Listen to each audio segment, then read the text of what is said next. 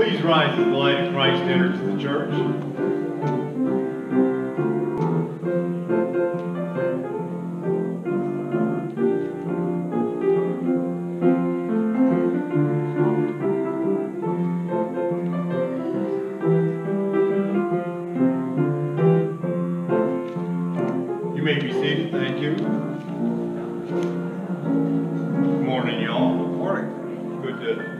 See some bodies in here that, you know, could have, could have been, out- you could have been out doing something else on Labor Day weekend. It's always good to be in the house of the Lord, because that's where we ought to be. Memorial Day. Memorial Day. I'm calendar challenged, you know that. yeah, Memorial Day. It's, and it says right here, Memorial Day. I get those two confused all. Hey, at least he knows today is Sunday. He was really throwing it forward there. Exactly, so. Man, you know what? I might be worn out.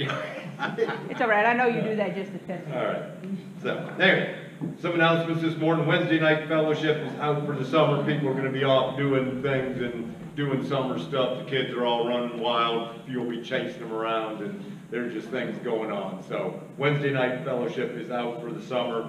Men's breakfast is the first Saturday. That's this Saturday. Look at that. I do good because they put it in here. And, uh, come out, that's at eight thirty. Come out, man, we'll have bacon and sausage and eggs and biscuits and fellowship and Man, it'll be a good time. Come out, it's always a, a big deal. Church breakfast is the Sunday following that. That would be in two weeks' time. You wrote that down too, so that's great for me.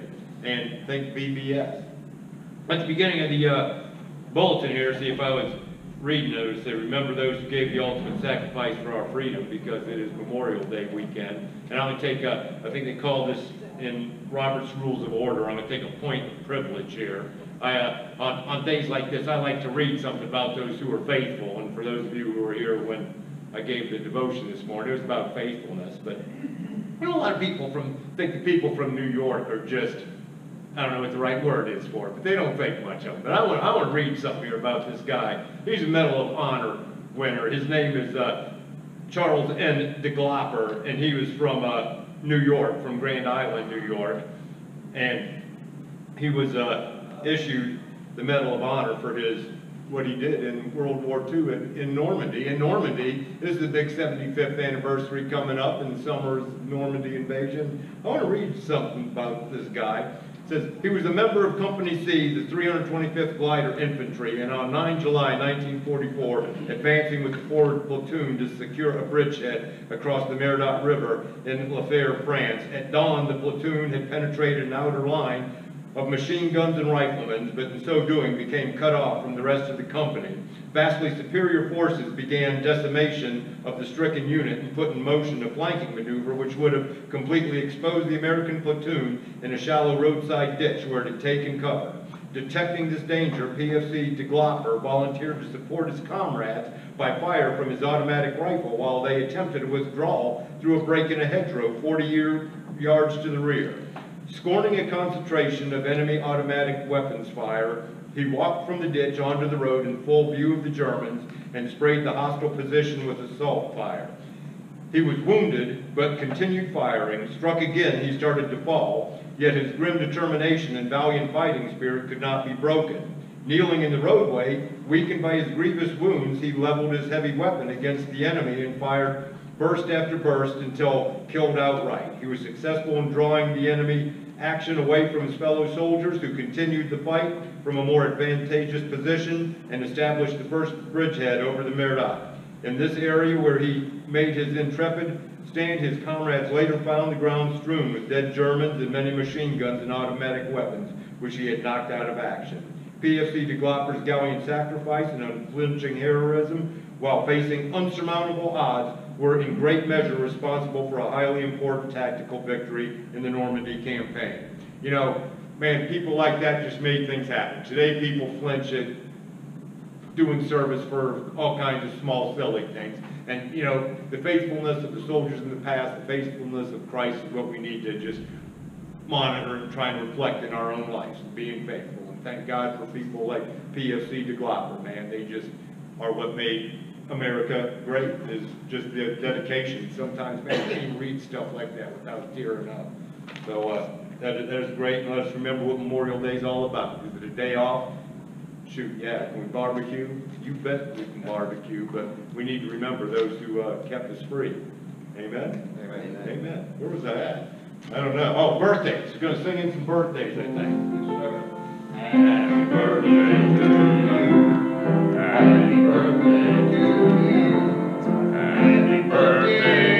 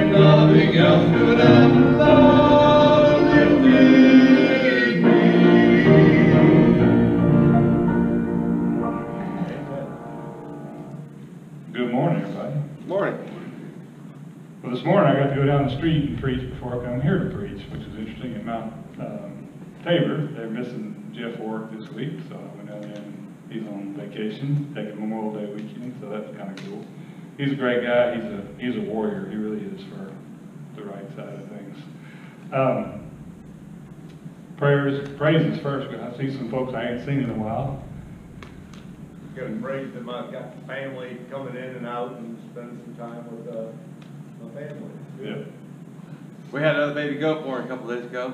It's starting again. Does that make you a grandfather? of- Uh, great, great, great, great. Kim? Hey, Dad's coming home Tuesday. Okay. Mom's coming on tomorrow, or today? Maybe today. Today, okay. Also, I'd like to thank Chad for fixing the windows over, spending one of his Saturdays fixing the windows over in the Chet Rocks. Thank you, Chet. Only took eight months. I get mad when my wife asks me when I hadn't done something. It's only been six months. Glad to have a friend Danny and Zach here today. Yeah. They're a pretty awesome pair right there. Especially if music's involved. Great. Yes, ma'am. It's fine, good. Good deal. Still hurting a lot, but everything went real good. And it's a parade to see Diane and uh, Rachel over there with a, a group of young ones having children, sure. Oh, yeah. Oh, yeah. Awesome. Thank you for showing up and bringing these children. You got, I still ain't figure out how you kept all your hair. That's awesome. Most of them, not all of them, Anybody else got a praise or now prayer concern? Anybody have a prayer concern? Anybody else? All right. Be, be in prayer for a conference in Mayville, I think, this week. Y'all, uh, y'all pray for Kim to have like a the full armor of God as he goes and faces what he's gonna face here this next week.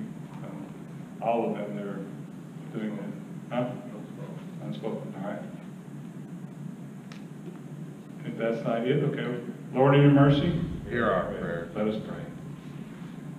Dear Father, we thank you for this time here this morning, and, you know, we just, we're blessed. We, we don't realize it sometimes. We, we uh, can't see your will at all times because we don't look for it mainly, but we ask you, Lord, just to bless this little church and continue us on down the path. We thank you for the signs of life I've seen lately. I've seen some, some great moves of the Spirit at times, and I just thank you, Lord, for that. Lord, I ask you to bless all those in the hospital. We got some that are kind of moving around this week, get them home safe, and, and hopefully get back to some sort of normal schedule for them. And Lord, just bless them and help them know that you're with them. And all the others that can't be here for whatever reason, visiting family, give them traveling mercies, be with them as they go where all the places they go and get them home safe, Lord. And just, Lord, we ask that you would also, those that haven't been here in a while, that you would touch their hearts and help them understand that they really need to be in fellowship with their brothers and sisters in Christ. And I just thank you, Lord, for that, that fellowship that I have with these people here today. Lord, bless this church, bless all that we do, Lord, to your will. And now let us say together the prayer that you taught your disciples. Our Father, who art in heaven, hallowed be thy name. Thy kingdom come, thy will be done, on earth as it is in heaven.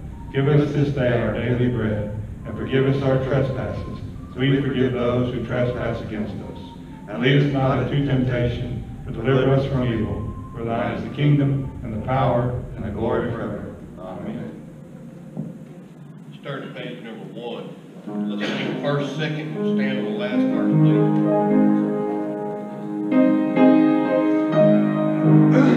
please.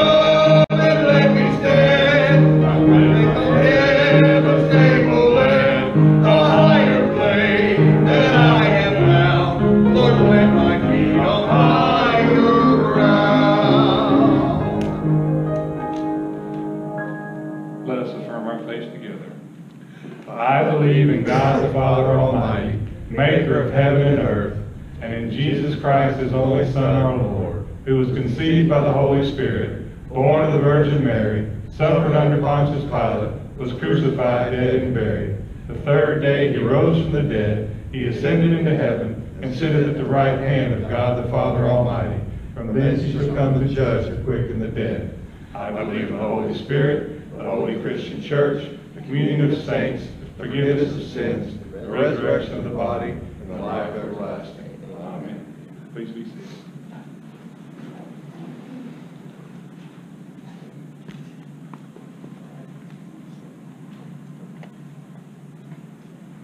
Let us pray. Dear Father, we come to you today, and we, we should be extra thankful for the privilege of being in this church this morning. We often forget how many lives were given so that we would be able to worship.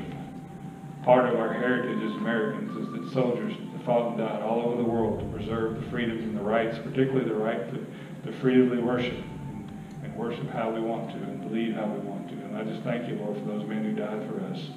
This morning we thank you for the blessings of this life. Thank you for all things you've given us. And I just ask you, Lord, that you remind us of who gave it to us and where it came from, and all good things come from you. And now we just return those gifts to you, and we thank you, Lord, and we ask that you bless them and see them, multiply them as you see fit. In Jesus' name we pray.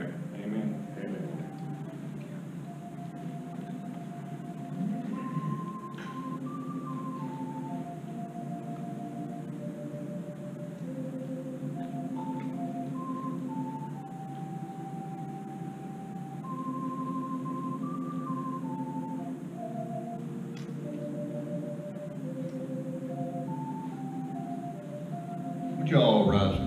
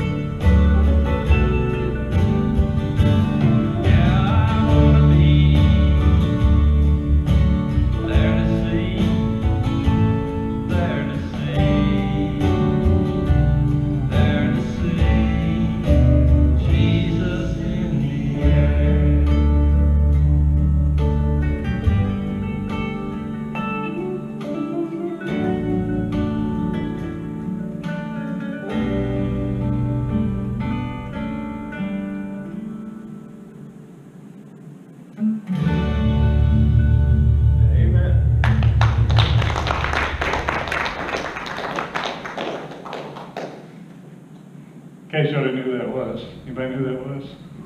I know that guy. Yeah, that guy sitting right over there. Anyway, awesome job there.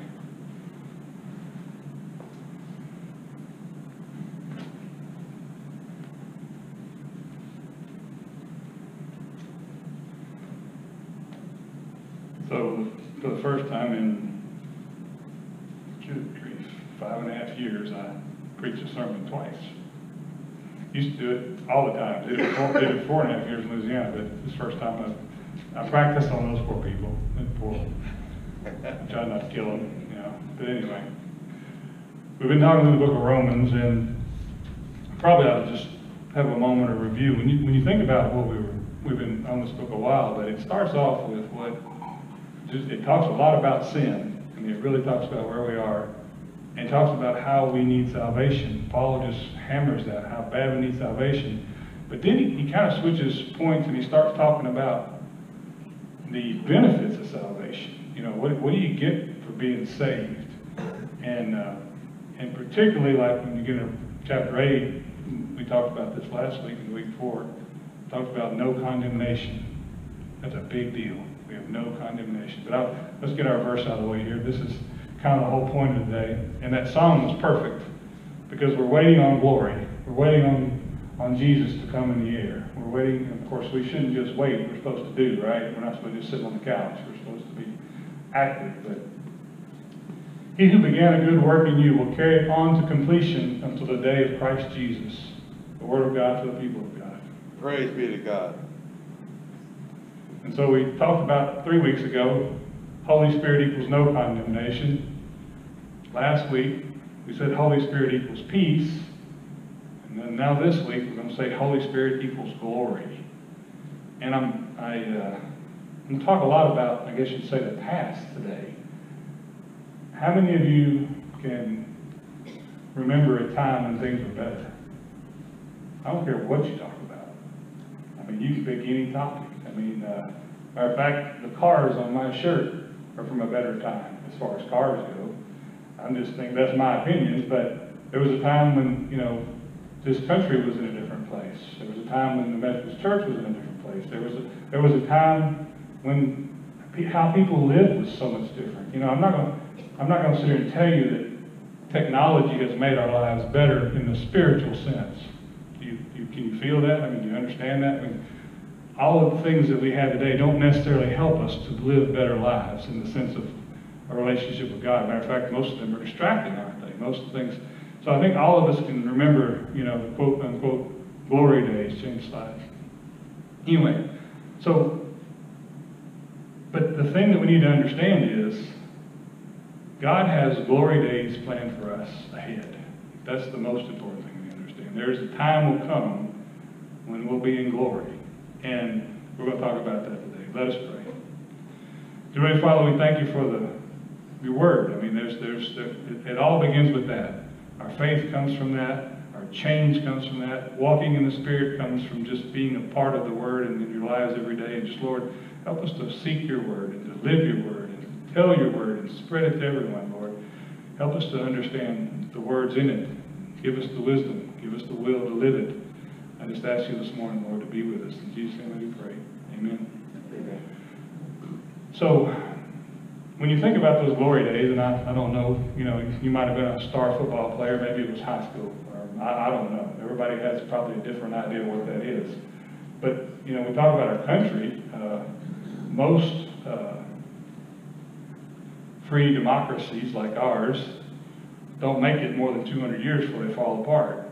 And so we're, we've made it beyond that bubble, but boy, we've got a lot of things going on right now. There's a whole lot of people arguing about things and a lot of people want to change to socialism. Good grief, I never thought I'd hear that in my lifetime. Back up 40 years and, and uh, think about what would have happened if you'd have said that then. You'd have been taken out of town on a rail, you know. So I just, I, there's a lot of things going on that I think, and basically the other day I had a sermon, and part of my sermon I said, the day you're born is probably the best state you'll ever be in because you're born into a world of sin and you're going to decay from there forward. I mean, and that, and that goes for the founding of our country. That goes for the founding of, any particular church, denomination. it's always gonna start here, and unless God is in it all the way, it's gonna start to fail. And we talked about that in our bodies last week, how we have these fleshly bodies that are, uh, that are, they're decaying. They're, you know, we have to deal with sin and death and cancer and all the problems of this world, and it, it's always going down. But there's a promise. There's a promise in Scripture of glory days, better days, new glorified body, a new heaven, a new earth, and that's what we're going to talk about. But I, uh, I want to go back a little bit and, and go uh, all the way back to Genesis 1, the very beginning of the Bible.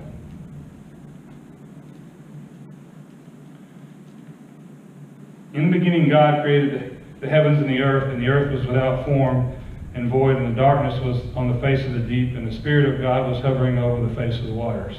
By the way, that's the first mention of the Holy Spirit in the Bible. It made it all the way to verse 2. It was already there. God's Spirit was already there, starting to work on the world, starting to, to be involved.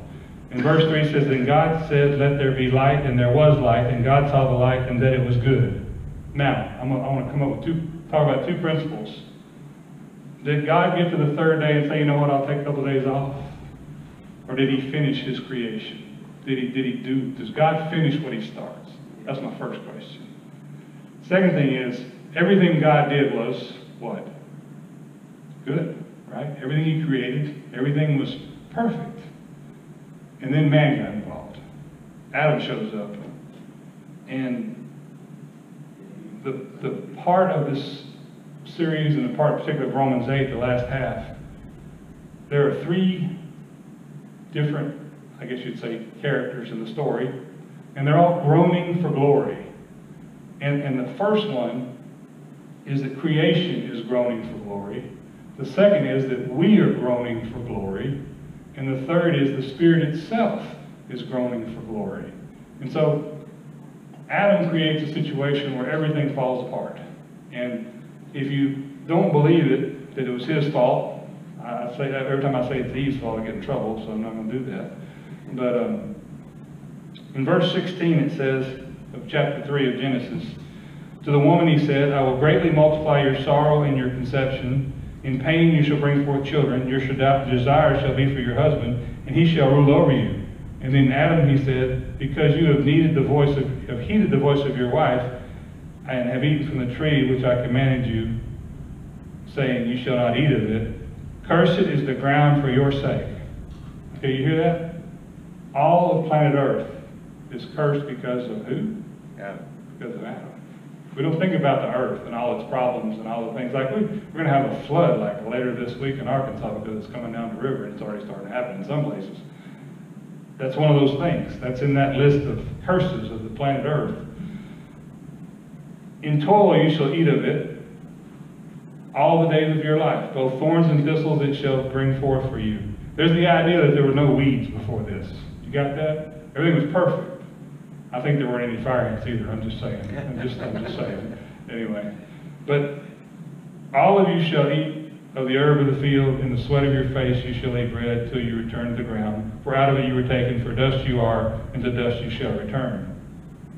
Also, Adam and Eve, I believe, had eternal bodies, eternal life. They had perfect, these bodies that we don't know about, these glorified bodies that we're going to get, these bodies that never fail, never get sick, never die.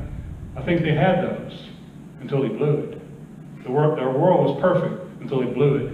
I mean, it all, it all came apart, so much more than we understand. We probably will never fully understand what Adam's sin did to planet Earth and everything in it. But, but that's why we have Romans to help us understand. But in Romans 8, starting at verse 17, and if children then heirs, heirs of God and joint heirs with Christ, hang on, before I do that, I'm going to go back to Isaiah. I want to share something. In Isaiah, there's the more of this. It's throughout the Bible. You'll find plenty of places where, talk, where God talks about new heaven and new earth, basically replacing the creation we know. But we also find places throughout the Old Testament, tons of places where there's this idea that this one man and his sin and all the people have caused what's wrong with planet Earth today. Verse 4 of uh, Isaiah 24. The earth mourns and fades away. The world languishes and fades away. The haughty people of the earth languish. The earth is also defiled under its inhabitants, because they have transgressed the laws, changed the ordinances, broken the everlasting covenant. Did you get that? Because they broke the laws. And they changed the covenant. They rewrote the rules how they wanted them to be. And therefore the curse has devoured the earth, and those who dwell in it are desolate. Therefore the inhabitants of the earth are burned, and a few men are left. I think that probably means there's a few good men left. But, so there's this idea of, of so much more than we think about when we think about what Adam did. We think about we're all born into sin, and yes, we have these bodies that are decaying, and we deal with all that, but there's so much more to it than, than just that one piece. But in verse 17, chapter 8 of Romans, it says, And if children then heirs, heirs of God, and joint heirs with Christ, if indeed we suffer with him, then we may be glorified together.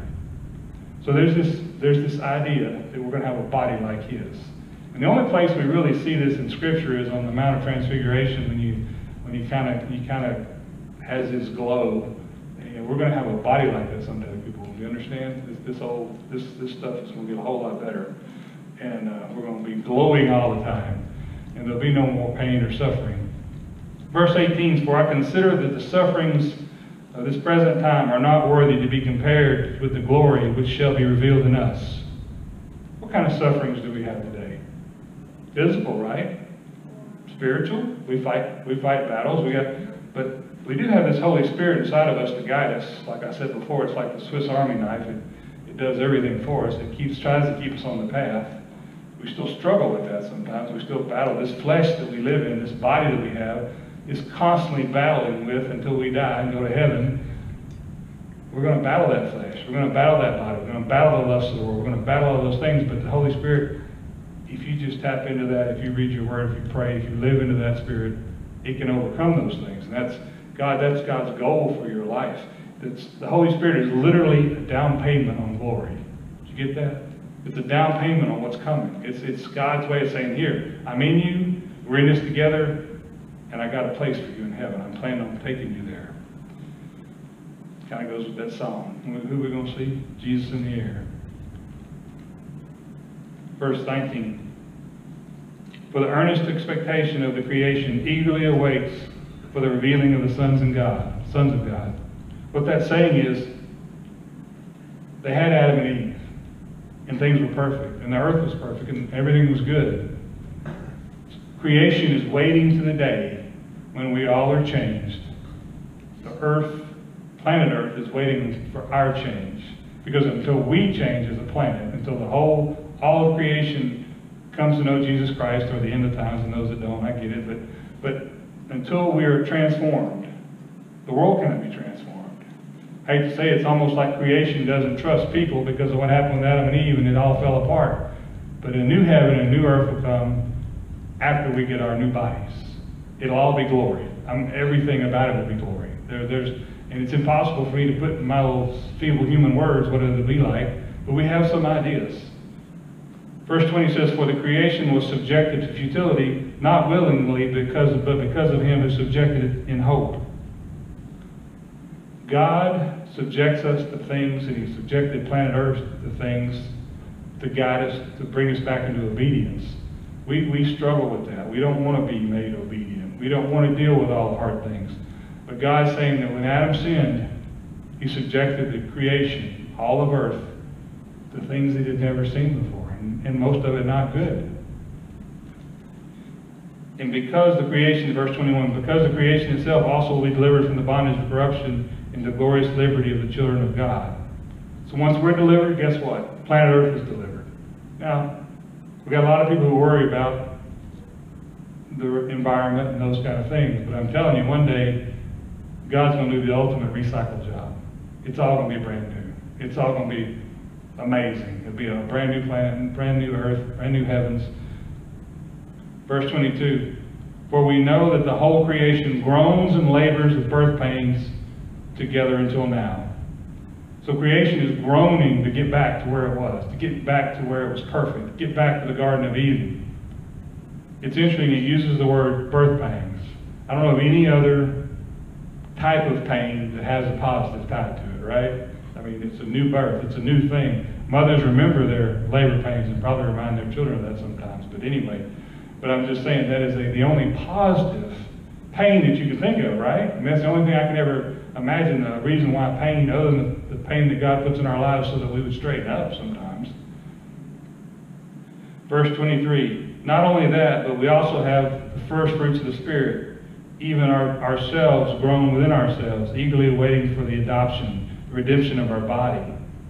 Now, last week we talked about we were adopted because we became children of God. We got the Holy Spirit in us. Now, this is that promise of a new body. This is God adopting this old dead body. But guess what? Till we leave this place, we don't get to get rid of it. We got to wear it. We got to deal with it. We got to fight it, basically, and survive. Verse 24, for we were saved in this hope, but we, but we hope, but we hope that is seen is not hope, but the hope that is seen is not hope, but for those, for why does one still hope for what he sees? Everything we live, everything we do, if we're a Christian and we got the Spirit in us, is basically trusting in something in the future, right? It's trusting in something we cannot see. It is hope. And that hope is in this glory. This, this whole few verses here is talking about a world that's fallen apart. Can you tell me anything that you know of that has continued to be perfect or holy or on a good path for many, many years? I mean, anything. I don't care what it is. Most all of you will point to a time in the past when something was better. I don't, I don't know. I can't, I can't think of anything that's better today. Maybe y'all can. I don't, I can't, there's nothing I can think of that is better today than it was 10 years ago, 20 years ago, 50 years ago, 100 years ago, 1,000 years ago. Yes, we have better, better medical care, right? What else? can- I mean, I, I can't, there's, there's, the list is very short. When, when you think about um, how the church was such a vibrant part of people's lives in early America and how the church reached out and was the one that took care of everyone. The church was the community. The church was the place you socialized. The church was the thing, the one who built the barn together, the one who built the community together. The church was the source of news. The pastor was the one that shared what he knew with everybody. The church was life. The church is not that anymore. Not like that. Not tied, intertwined with their lives in every way and every fashion. The baptism was the be-all, end-all for the community. That would be like the biggest party you could ever have. I'm talking about the glory days that don't exist anymore. But there are glory days coming. There are some amazing glory days coming because of the trust. Because of the trust. Got trust in God, trust in Jesus, and most of all, trust in that Holy Spirit living inside you. Because if you don't do that, there is no hope. Your hope comes from that down payment that God put in your heart. That down payment of a better day, a better life. A down payment of total healing. Now, yes, He can do that right now. He surely can. He can heal us right now in this space. But if He does, it's to His glory and His will. We're not in control. It is so He can use us a little further down the road. It's so He can use us for an example. I think of all the times in Scripture where God used the least likely to do the most amazing things to show that it was Him. That's how He works. He uses normal, everyday people who trust in Him. I mean, trust and have hope in the future. Understanding that glory. Larry's, Larry's song is all about the ultimate glory days. Now, are you ready for Him to come riding in the sky? Are you? I mean, that, that's a legitimate question. Are you ready for Him to come in the clouds? Because guess what? It's good news for some folks, not so good for everybody else. We, you know, I always talk about, I mean, I like preaching Revelation. I like talking about the end times. I think it's awesome. I think we're in the end times. I'm very excited about that. But I also know that I drive on Little Rock every day. I get killed any minute. I'm ready to go. Are you ready to go? Because waiting on the signs in the heavens and all that's pretty silly. It's like, it's like that Hail Mary pass at the last second football game's going to win. I'd rather have a better track record than that when I go before the Lord. Like me and Larry talk about sometimes, we're going to have this long wagon full of sins that we have to take in there with us and explain. You know, got this big old, you know. But there's no condemnation in it, is there? We got all those sins, we did all those things, and we do have to explain ourselves. But we're not going to be condemned for them. Our slate's clean. Our clothes are white. We're perfect. We're lambs just like Jesus. And we are meant to be there. You got to remember the hope. The hope is what we live for. Verse now.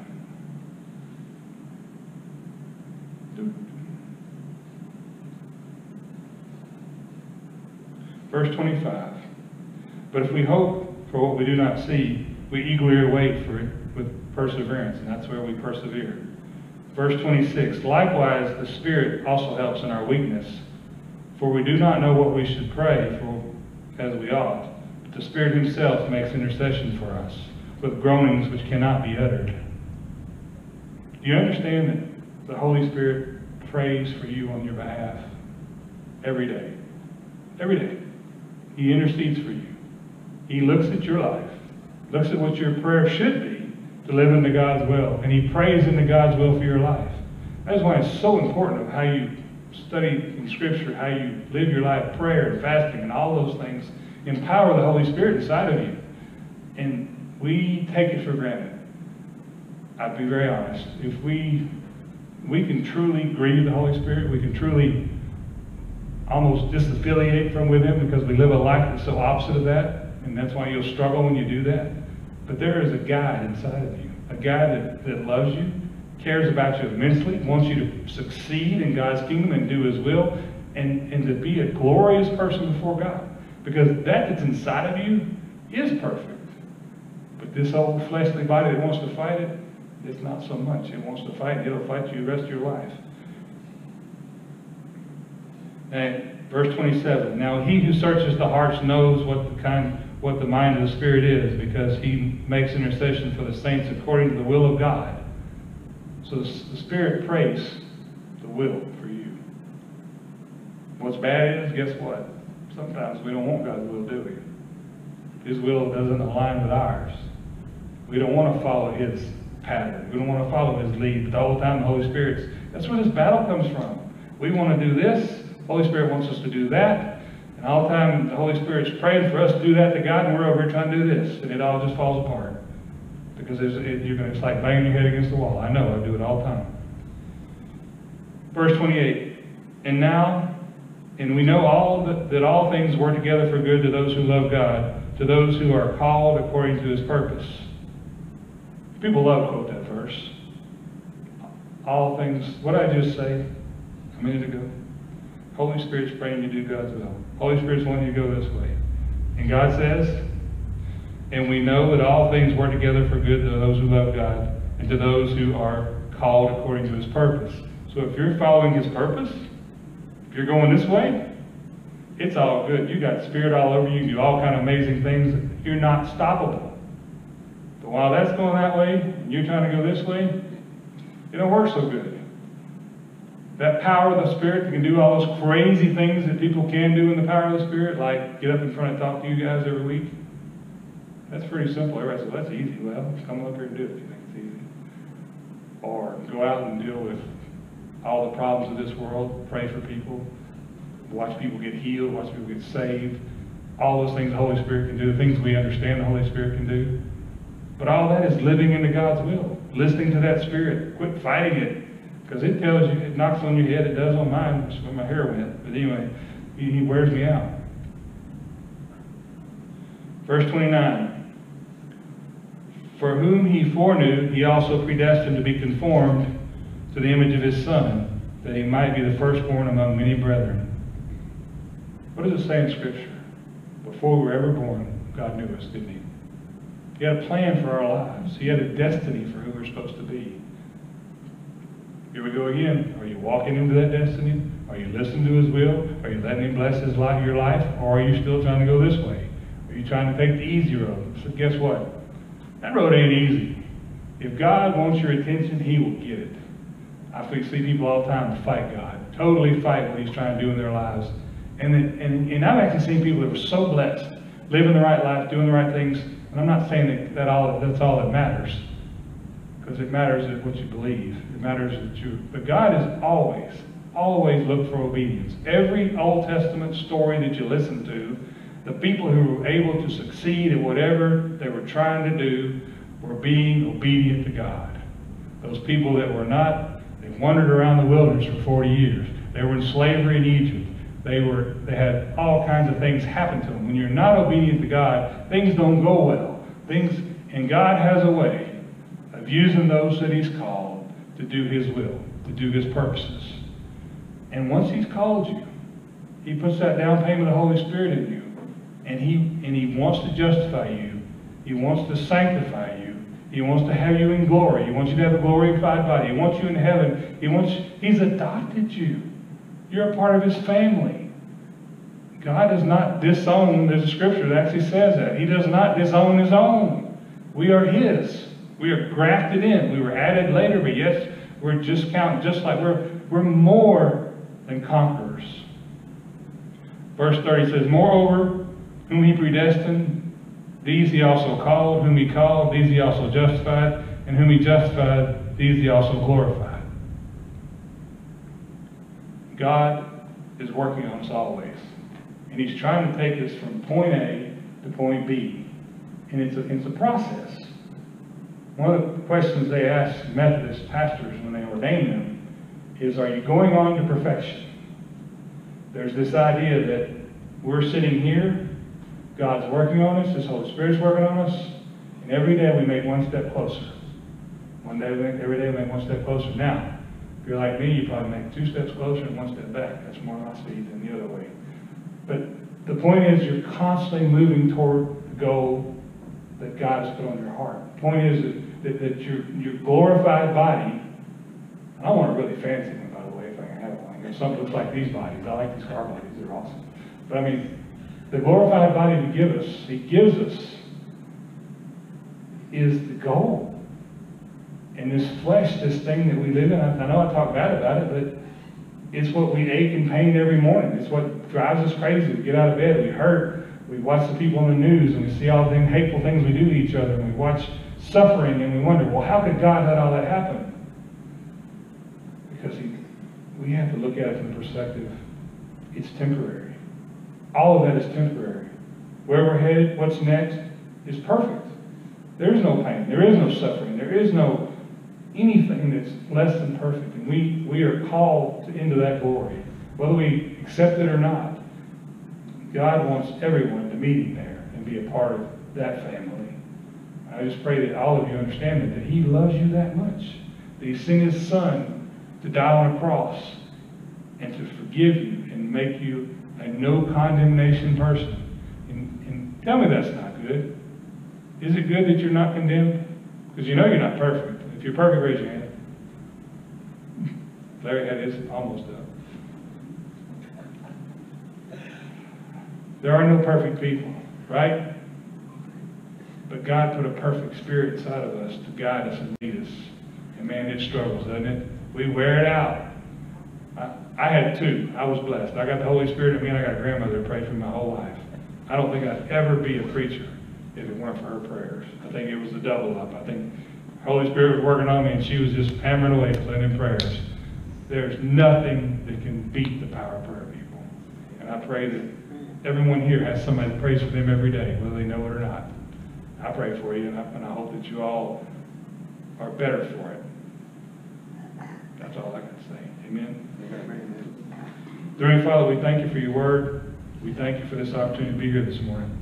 But right now, I want to thank you for your spirit. You know, we we're not a charismatic church here. We don't do a lot of raising the hands. We don't do a lot of Holy Ghost stuff. But you know what?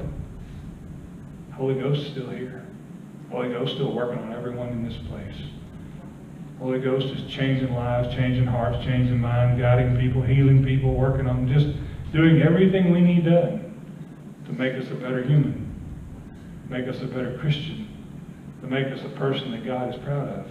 I just ask you this morning, if anybody doesn't know you, doesn't know that great spirit that can live in you, or to let it, or there's wandered off the path and they've been ignoring that spirit, Lord, let, let that spirit work on them this morning. Let it work on their lives. Let help it to change them to be who God truly called them to be, to live according to His will and His purposes so He can bless them. Because until you do that, you will not ever know blessing. Thank you, God. Thank you so much for listening to my words this morning. And as feeble as they might be, I pray that they give you praise and glory because we owe everything to you. In Jesus' name we do pray. Amen. Let's all stand turn to page 78.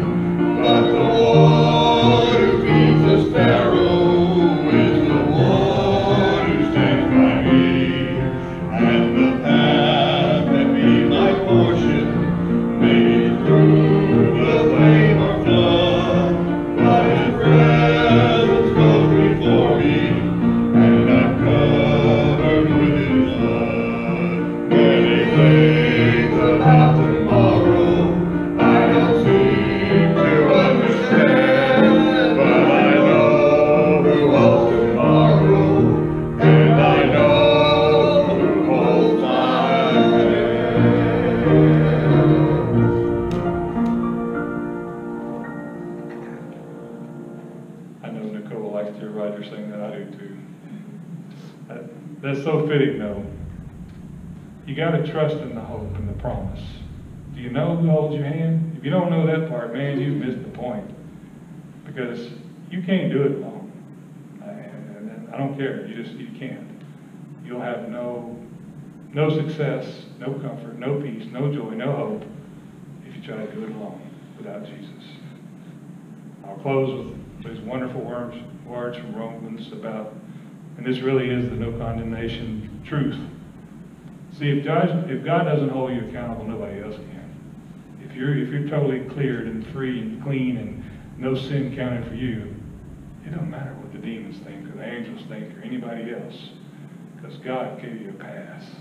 He gave you a get out of jail free card for you Monopoly old folks. For I am convinced neither death nor life, neither angels nor demons, neither the present nor the future, nor any powers, neither height nor depth, nor anything else in all creation will be able to separate us from the love of God that is in Christ Jesus our Lord. Amen. Glory be to the Father,